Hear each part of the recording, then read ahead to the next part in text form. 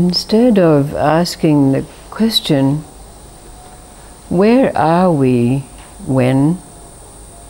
Perhaps it's better to ask the question, how do we know when? We've arrived at that place where not only the three levels of life, cause and effect, the occult, and oneness, unite seamlessly in the moments of our life, and we live intensely in the present. But by their absence, we realize that our relationship with life has changed fundamentally. So the stories of these last days are to perhaps uh, assist us in recognizing what those absences are, to give us confirmation, since it's not a place or a state, that indeed something has happened. This story has been told before, and just to clarify, there's an interesting difference between fakirs, dervishes, and Sufis. If you care to explore this, but this story is the story of a fakir, a wandering fakir But this fakir had a golden cloak, a golden cloak that was embedded with precious gems. And as is the way with fakirs and dervishes, their wanderings seem to follow a pattern. And as it was with this fakir, he became known far and wide and was recognized for his golden cloak. One day, when he was walking the road singing a song to the wonders of the life of being free and unfettered, poor, when a band of robbers accosted him, and hearing his song, said, Well, since you have no attachment, we'll divest you of your golden cloak. Well, the fakir argued with them that this cloak was a gift from God and that they would be punished severely if they stole this cloak. And they just laughed at him and said, Well, we'll think of that when we're in the tavern drinking after we've sold the golden cloak. So they beat him thoroughly, left him battered on the side of the road, and took his golden cloak. Now, when he got up, nursing his bruises and his injuries, and resuming his journey, wondering what the meaning of all of this was when God had been so kind to him up to date and bringing doubts into his mind he turned a corner, and there in front of him lay all the robbers, lying in pools of their own blood, and hanging from the branch of the tree under which they lay was hanging his golden cloak. he realized that the robbers had come to the conclusion that the cloak would have no value if they cut it into pieces. So they had obviously fought over the cloak and killed themselves in the process. So the fakir took down his golden cloak and again, taking on that state of absence of doubt where God takes care of things. He put the golden cloak on once again and went off down the road. But after some time and more wanderings, he found himself in the midst of a battlefield where warring armies, sultan and an emperor, were fighting and as it happened, that Sultan who won the battle captured our fakir as a treasure of the battle and took him back and incarcerated him in his palace. But because the Sultan was a Sultan and had a certain belief system and therefore a reverence for wandering fakirs and dervishes, he treated him quite well and allowed him to keep his golden cloak.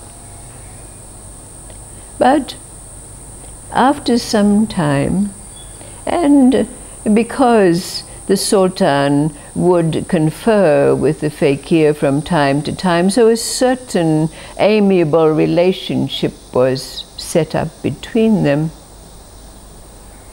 It was evident to the Sultan that the fakir was not happy. So he asked him, Why are you not content? In this palace I give you all of the things that will make your life pleasant. The fakir said, Well, I miss my life of wandering. I miss my family. Oh, said the Sultan, well, you know, I did win you on the battlefield, so you are a trophy of war. So you would have to buy your freedom. What do you have with which you could buy your freedom? And the fakir could think of nothing. But the Sultan said, What about your golden cloak? It has value. If you sold it, you would certainly make enough to buy your freedom. Well, the fakir was very reluctant to do so, but his freedom was valued very highly. So it was decided that the golden cloak would be sent to his family and sold so that he would have enough money to be free. And the Sultan sent a messenger with the golden cloak, and it was duly sold for much less than its worth in the marketplace, and the money sent back, which enabled the fakir to buy his freedom. But life was not the same for him after this. In his wanderings, no one recognized him. He was just a poor, wandering fakir, not even recognized as a fakir. So life was miserable. He was like a beggar. He received many beatings along the way as beggars are wont to do. But then, after a long time and much, much travel, he was sitting under a tree on the side of a certain road with a small fire where he was cooking the few scraps that he'd managed to scrounge, when all of a sudden he heard a great clamour and a clanging and wailing.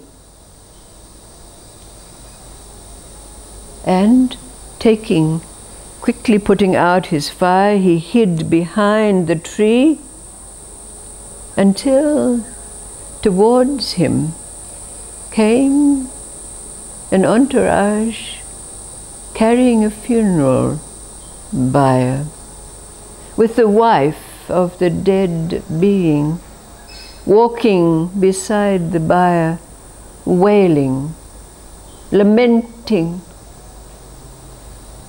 Now, that group had been traveling a great distance, and so they stopped to rest under the tree and the fakir was able to hear the woman's tale of woe as she told the virtues of her husband and how he died in his youth before his time.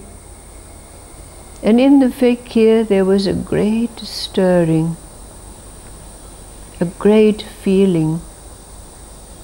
He himself had suffered so greatly, and he felt deeply for the pain of the lamenting wife.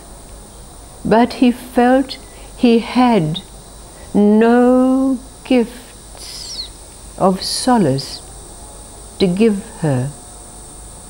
So he remained hidden behind his tree. But the wails of the woman grew so loud in his ears, his heart, and his soul that something brought him out from behind the tree to confront the woman. She tore her clothes when he asked her, What was it that caused such deep grief. And so she told her story. But her wails and her sobbing became so great that she even took off the shroud that covered the coffin of her husband and the fakir gasped in surprise because there on the corpse was his golden cloak. The wife could see that he was greatly shocked, and so she asked him, and he told his story. He told his story of the robbers he told how he'd been enslaved, captured by the Sultan. He told his tale of woe, of the beatings. And the wife stopped her sobbing. And she said, I see that your suffering has been great, and even though mine also is deep and painful, I feel for you. How can I assuage your pain? And immediately she thought, yes. And she took off the golden cloak from over the corpse of her husband and gave it to the fakir. After resting the funeral went on its way and the fakir was left. But when he looked at the golden cloak and looked at his life, he no longer had any heart to put the cloak around his shoulders. So he made a bundle out of it and carried it on his shoulder.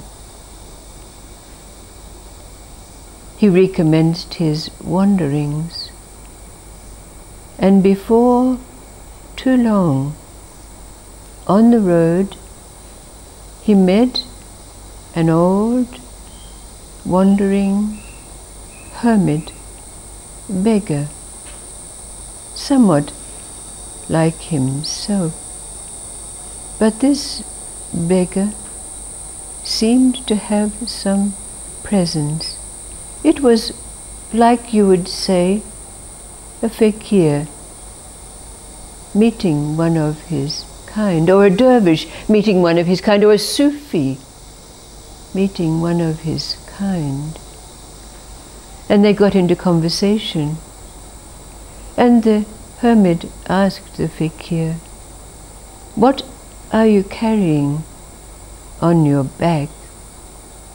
And the fakir took out his bundle and revealed his golden cloak. Oh, said the hermit, this has great value. It must be worth 10,000 dinars.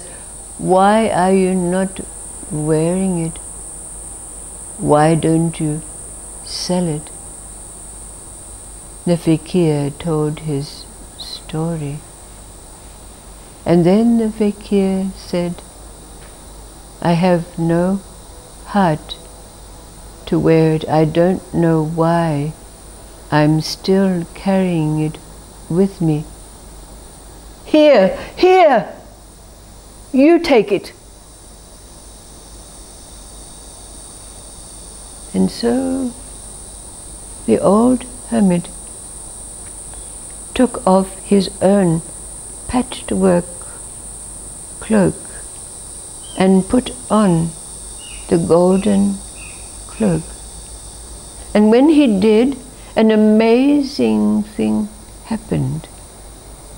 His grey hair and beard turned from white to black. His face returned to youthfulness. He became a splendid being. The fakir fell down on his knees in front of this obviously angelic creature.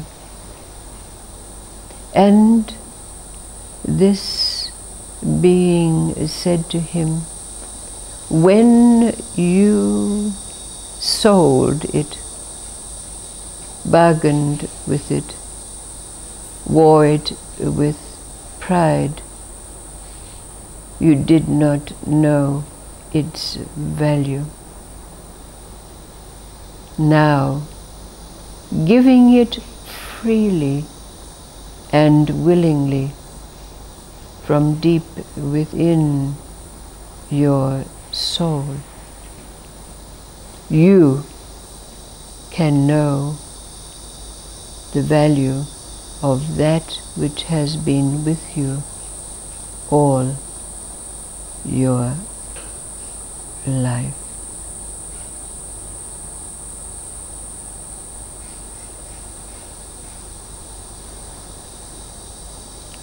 What does the golden cloak represent for us? How does it relate to this question? How do we know how do we know that now, with the three levels of existence, now seamless, one, present in the moments of our life, can we know by their absence that something has changed. Our relationship with life is fundamentally different. Where are we then? What does this golden cloak represent for us that's been with us all our life, discarded, battered? Sold.